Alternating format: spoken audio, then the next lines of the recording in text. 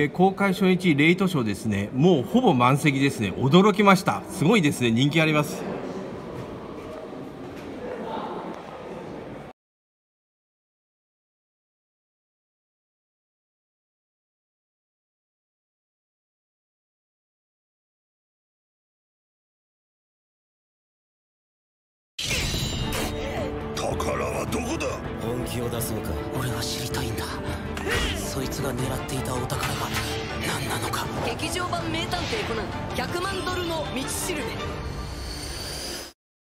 マルサーホビー動画チャンネル、えー、本日は、えー、番外編というかちょっと意外な感じがすると思いますけれども、えー、実はあの、名探偵コナンの、えー、映画版ですね、えっ、ー、と、1000万ドルの道しるべという映画を、えー、風切り初日に見てまいりましたんで、その映画のレビューをさせていただきます。もうあの、国民的のあのゴールデンウィークにもあの発表するのは27作目。びっくりしましたね。27作で、前回も見に行ったんですけれども、1年前とはちょっと思わなかったんですけれども、そのくらいあのテレビの溢れてて、期待が溢れていたんですけれども、あのー結論を言うとすごく面白かったです。で、初日の、あの、最終、えっ、ー、と、最終日に、最終の、あの、放映の時に行ったんですけれども、ついてびっくりですね。ほぼ、あの、席が90%くらい埋まってました。あの、平日の夜にそれだけ人を集めるあの名探偵コナン、まさにあの国民的人気の、えー、アニメですね。驚きました。で、あのーあの、えーと、お客さんの層も周りを見渡すと、えー、ガンダムの映画とは違ってですね年齢層が若くて女性の方も多くってより一般的で広く愛されてるんだなというのがすごくあの印象に残りましたね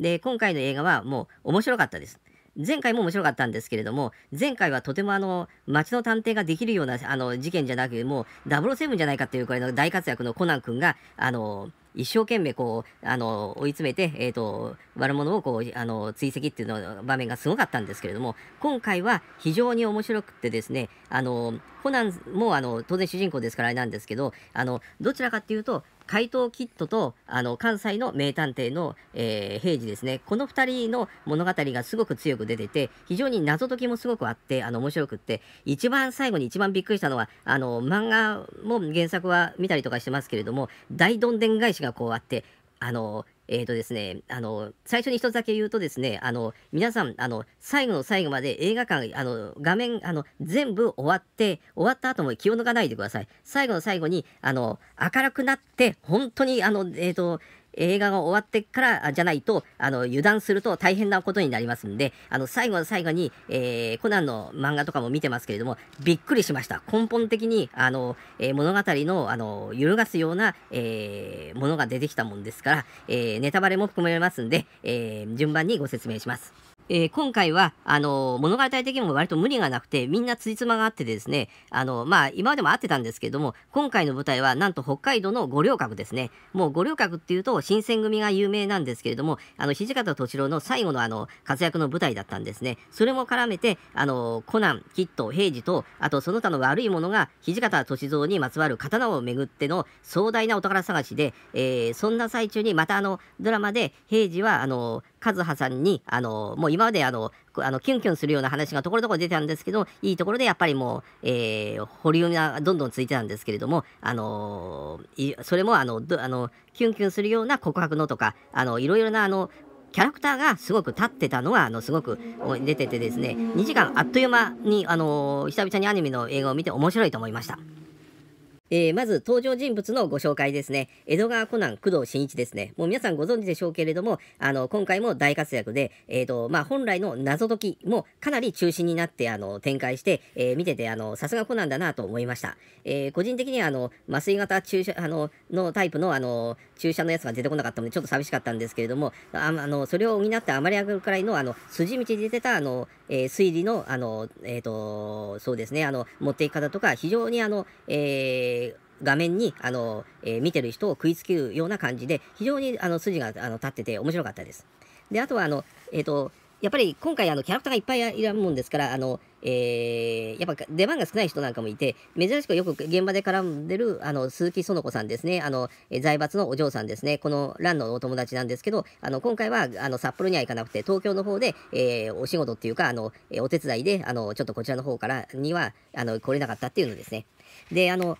物語の途中で、この、灰原愛とか、あとあの、えー、少年探偵団ですね、全然出てこないなと思ったら、後半になって出てきて、結構重要な、あの、場面で出てきてます。で、あの、まあ、独特の、このメンツが出てくると、あの、やっぱほっとするようなところもあって、非常にあの、重要な役なんですけれども、えー、ちょっと登場する時間が、あの、後半で少し少なかったですね。で、ランちゃんは、えっ、ー、と、出てきましたけれども、あの、もう、カズハちゃんの、あの、もう、あの、親友なもんですから、もう、どんどん、同じ、あの、彼氏が探偵をやってるもんですから、お互い悩みが同じですから、あの、どんどん、あの、えっ、ー、と、アピールするように、あの、アドバイスと、あの、応援ですね、してて、えっ、ー、と、けなげに頑張ってました。で、あと、もう、もう一人の主人公が、やっぱり今回は怪盗キットですね。怪盗キットが、あのと、こちらの服部平次ですね。このあの対決がすごくあれですね。もう原作とか見てる人はわかりますけれども、あの、最初に物語の最初で、服部平次があのキットを見た瞬間に、あの、ものすごく食ってかかってですね、あの、キスの恨みっていうのは、もう原作持った人は、見てる人はわかりますけれども、あの、キットがあの、えっ、ー、と、あの、カズハちゃんに、あの、変装してる時に、知らないで平次が危なくこう、キスをしそうになってしまってっていうので、あの、それで、えーと、自分の大事な人が、あの、えー、あの、怪盗キットだったもんですから、それをかなり恨みに思ってて、えーと、えー、すごい戦いのシーンなんかも、あの、刀を使ってタイプとか、あの、あって、あの、かなり活躍してます。コナンよりある意味今回は活躍してましたね。で、あの、その主人公の、えっ、ー、と、ガールフレンドのやっぱ、カズハちゃんですね。これはあの、あの、この子はあの、一応、えっ、ー、と、まあ、ヒロイン役になってますんで、あの、ラインよりも、あの、カズハちゃんの方のが、すごくあの、えー、彼女役で、あの、物語、最後の最後にまで、あの、キュンキュンするような、あの、物語も絡んでいて、ものすごくよくできてました。で、毛利この頃さんは、あの、今回は、あの、推理というよりも、あの、その、物語を進めてるだけの、ストレあの、ストーリーのテラーになってるような感じで、え、ー、と、まあ、あの、よく画面は出てますけれども、あの、推理っていうのはちょっとあまりやってなかったですね。で、あと、やっぱり安定の、あの、阿川博士も全然出てこなかったもんで、あれと思ったんですけど、後半に、あの、少年探偵団を連れて出てくるのと、あと、えー、コナンに頼まれて、あのとても大事な、あの発明品を持ってきて、とても町の、あの、発明品の、発明家の人が作れるようなもんじゃないようなものを持ってきて、びっくりっていうところもありました。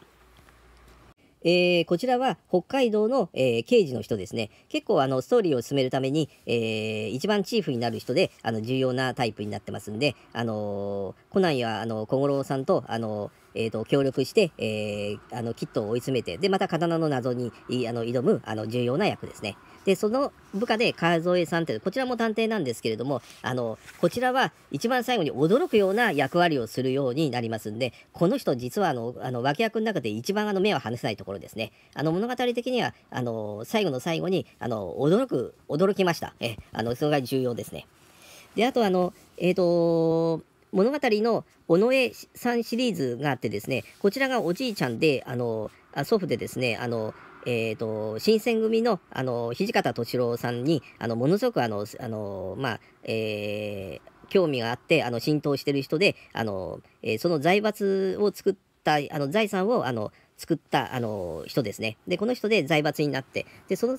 息子さんが、こちらですね、えっ、ー、と、尾上忠之さんで、もうこの人はもう個人になってるんですけれども、あの、父の、あの、先の、あの、えー、金、あの、えっ、ー、と、財閥の、あの、礎ついたのをさらに発展して、あの、えっ、ー、と、非常に成功した方ですね。ところが、あの、えっ、と、この方が、あの、えっ、と、亡くなってしまって、そのさらに息子の尾上拓三ですね。これが、あの、物語で、まあ、悪者の一つで一人ですね。で、あの、刀を、あの、もう全部あの、えっ、ー、と、おじいさん、お父さんの、あの、しょあの財産を全部あの、商売がうまくいかなくて全部手放して、オークションとか、まあ、鈴木財閥に、あの、売ってしまうところから物語が始まるようになりますね。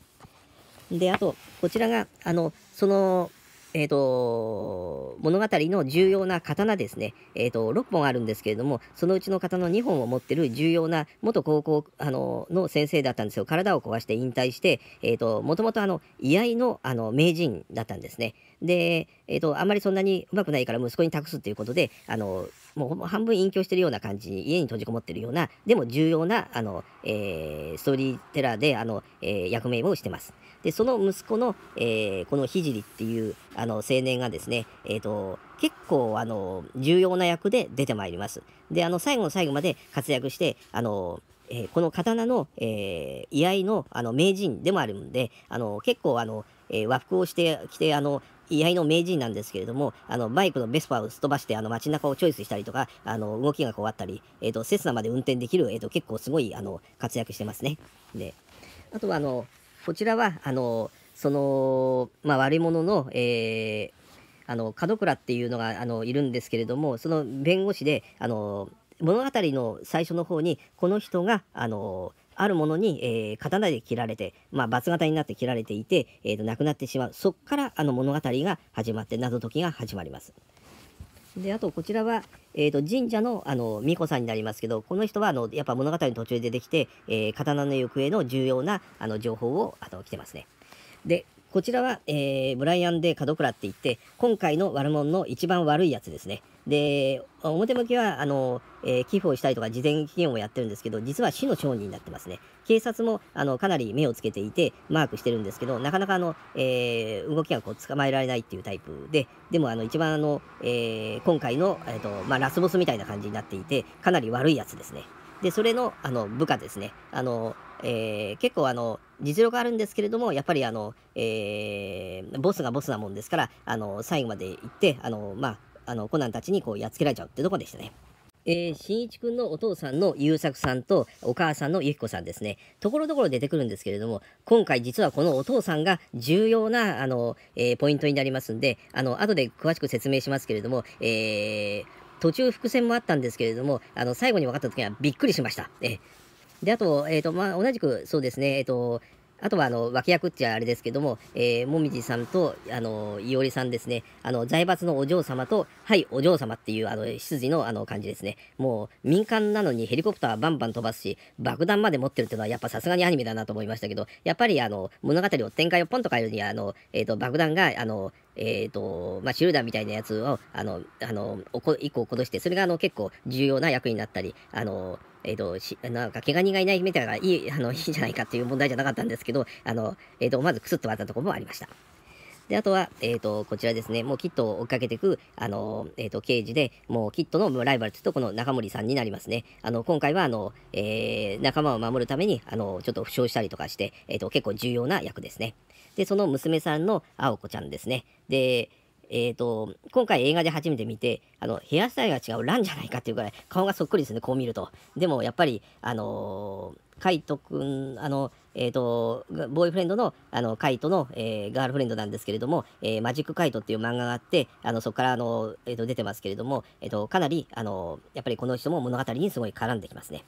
で、あとは、あの、最後のアクションシーンの方に出てきますけれども、えー、その仲間で、あの、沖田総司と、えー、鬼丸武ですね。あの、剣道つながりで、あの、悪者の、あの、その他、あの、の、えー、タイプの、えっ、ー、と、悪者を、えー、剣道で叩きのめすって役ですね。えーと、この月夜のあの月下の下で、この月下の傷師の、あのーえっ、ー、と、怪盗キットが、えー、この刀を日本刀ですね、見て、平時と戦ってるとこですね。今回はこのシーンがすごく多いです。やっぱり刀が絡んでるもんですから、刀を使って、まあ、キットはあの、相変わらず、あの、例のあの、トランプ銃をあの、かなり多用するんですけれども、それも役に立ちますけれども、結構あの、肉弾戦が多かったですね。で、あの、こちらは最後の最後に、あの、助けに来る、えー、博士の秘密兵器のところに乗ってる、あの、少年探偵団ですね。で、あと、これが、えっ、ー、と、物語の途中の展開で、あの、鳩にあの餌くれてる、あの、キットですね。で、えっ、ー、と、こちらは、あの、その大事な、あの、こう、お宝と言われてるタイプを、あの、えー、の、あの、証拠を、あの、見るために、あの、金槌でめくに、めく、あの、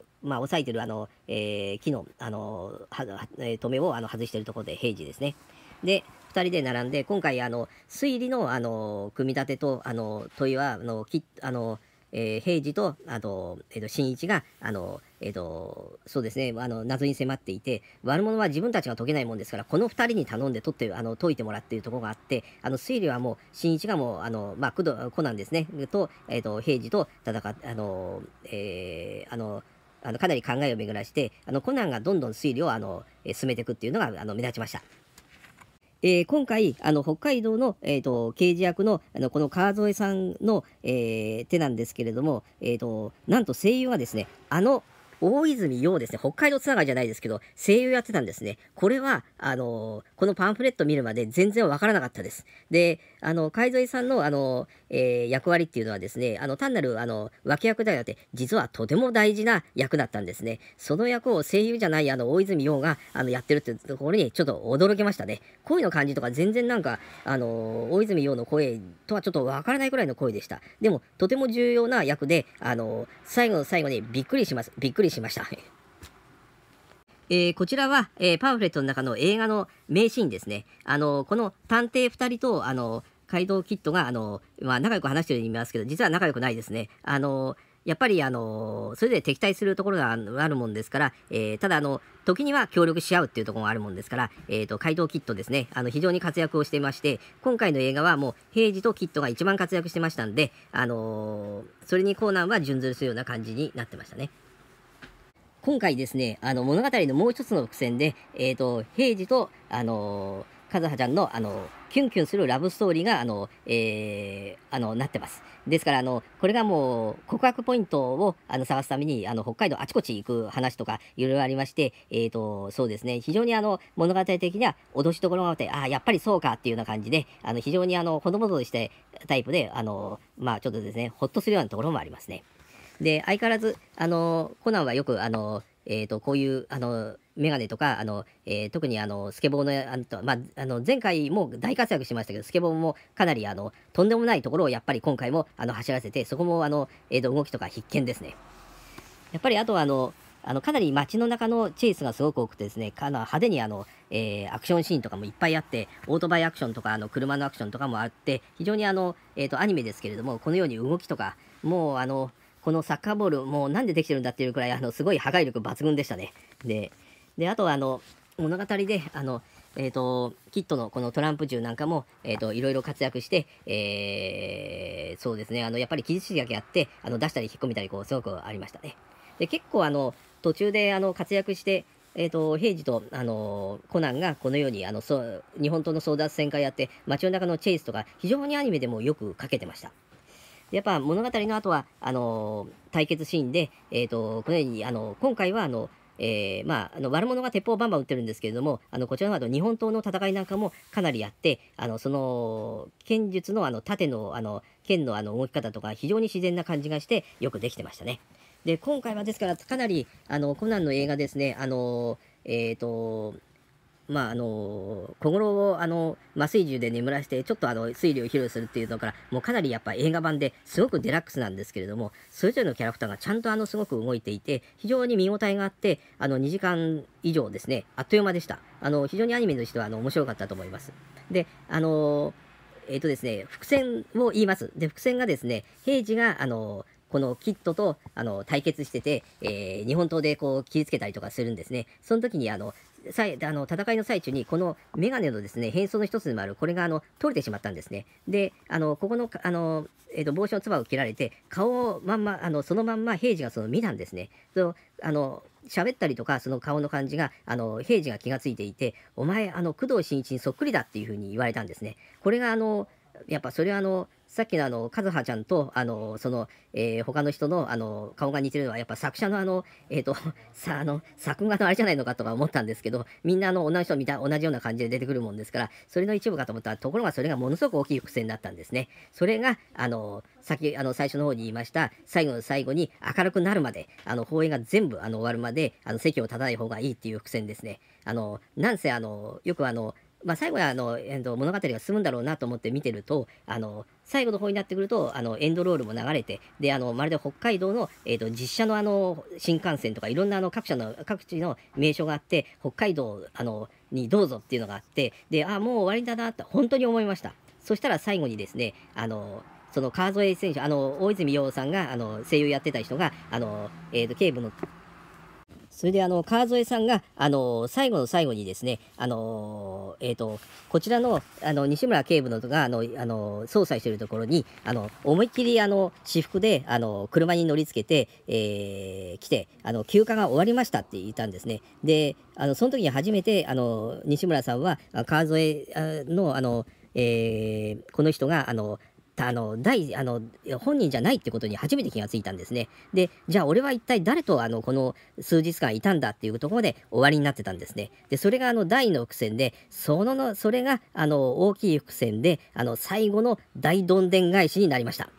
で、その、あの、誰と一緒になったんだっていう次にですね、あの、こちらのお父さんの優作さんと、こちらのお母さんの、えー、会話ですね。で、その時に何気ないような感じで言ったんですけれども、あの、お母さんがこのお父さんに向かってですね、あの、えっ、ー、と、お父さんがあの、お母さんに向かって、ちょっとポロッと言ってですね、あの、兄弟がいるって話をしたんですね。え、そんな耳は、そんなことは、あの、初めての設定だなと思って聞いてたんですけれども、で、あの、兄弟がいて、で、あのなんていうんですかね、その、あの、えっと、兄弟の人が、あの、息子がいるっていう話が初めてここで出てきました。それでびっくりしたんですけれども、あの、で、その最後の大どんでん返しなんですけれども、あの、その海蔵さんが、あの、最後の最後に出てきてですね、何の脈絡もなく出てきてですね、あの、顔の、あの、マスクをいきなりベリバリってあの、剥がしたんですね。そうすると、えっと、えっと、その画面が変わって、なんと出てきたのがキットのお父さんだったんですね。これはびっくりしましたね。あの言葉の説明はなかったんですけれども、誰が見てもキットと同じ格好をしていて、このメガネをして、あの、黒い服装で出てきて、あの、すくっと立ってたんですね。というか川添さんよりスタイル良くなってましたけど、それは不思議ですね。でも、あの、もともとあの、怪盗キットは、あの、マジック怪盗って名前で漫画から始まっていて、えー、単発でいろいろ作ってたんですけど、もともとの物語の根底が、お父さんが亡くなって、数年経って、あの、カイト君が、あの、自宅の、あの、地下の方かどっかの、えーと、隠し扉を開けた開けてその回答だったっていうことが分かるとこから物語がスタートしてるはずなのにまさかまさかお父さん生きてたとは思えなかったですね。これはあのコナン君あと30年ぐらい続けるくらいのネタが出てきましたね。あのびっくりしました。ですからあのえっ、ー、とあの、えー、といきなりネタバレして申し訳ないんですけれどもあの途中の物語だけでもあのものすごく面白かったんですけどあのここまで風呂敷広げたらもうあのあの伏線回収大変だろうなと思うくらいのあのびっくり展開ですね。あの驚きました。ですからこれからこれであのどんどん、あの、なんていうんですかね、あの、世界がさらに広がって、あの、キットの絡みの物語で、ということは、キットと、あの、コナン君は、あの、いとこ同士ってことになるんですね。これはびっくりしましたね、本当に。あの、実際、あの、キットが、あの、空を飛んでる時に、えー、スマホで、あの、その、あのガールフレンドのところに、えー、電話した時に、あのその着信のところを見ると、カイトって書いてあったんですね。ですから、それでもあの、キットはもうカイトですよってことを言ってて、まあ、その辺はもう原作を知ってる人はわかるんですけれども、えっと、もうなんかもう、一緒、あの、全部繋がってるような感じがして、とにかく驚いた映画でした。でも、久々にアニメの、あのー、映画を見て面白くて、2時間、あのー、以上のものがあっという間っていう感じがすごくしてですね、非常に、あのー、物語的にはよくできていて、あの面白いと思いました。ね、で、あのこの前の映画を見に行ったんですけど、まさか1年前とは思わなかったくらい、あのスパンがあのそんなに空いたんだっていうのはちょっと意外な感じしましたけれども、今回、あのすごくおすすめのアニメのコナン君で、非常にあの、えー、ファミリーで見ても、あのマニアの人が見てもあの納得できるあの謎解きあり、あのアクションあり、あの盛りだくさんって感じがしましたね。ねえっと、このように本日はあのちょっと,、えっといつもと違ってこのような映画のレビューをいたしましたんで、あのまた機会がありましたらしますし、えっと次回予告ですね、えー、やろうと思ってるのは、あの、皆さんも大好きなゴジラとか行くつもりでいますんで、またぜひチャンネル登録もよろしくお願いいたします。ではまた次回お会いしましょう。ご清聴ありがとうございました。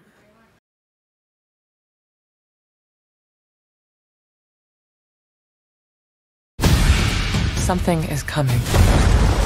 Kong, Godzilla, they can feel it too. Something even they're afraid of. The last time those two met up was almost the end of Kong. Oh my god. Kong can't stop this on his own. He won't be alone.